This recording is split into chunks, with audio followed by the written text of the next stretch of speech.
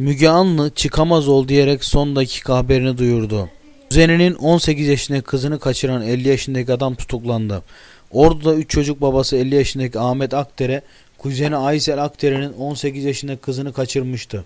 Müge Anlı canlı yayında Ahmet Akdere'nin tutuklandığını duyurdu. 50 yaşındaki Ahmet Akdere ve 18 yaşındaki Kübra polis tarafından bulunmuştu. Kübra polise verdiği ifadede kendi rızasıyla kaçtığını söylemişti. Ancak Fasla Cumhuriyet Başsavcısı bu ifadeye itibar etmeyerek Kübra'nın ifadesini tekrar başvurdu. 18 yaşındaki genç kız sonraki ifadesini tehdit edildiğini ve ancak korktuğu için bu olayı söyleyemediğini açıkladı. Lütfen siz de görüşlerinizi yorum kısmında belirtmeyi unutmayın. Kanala abone olursanız şimdiden teşekkürler.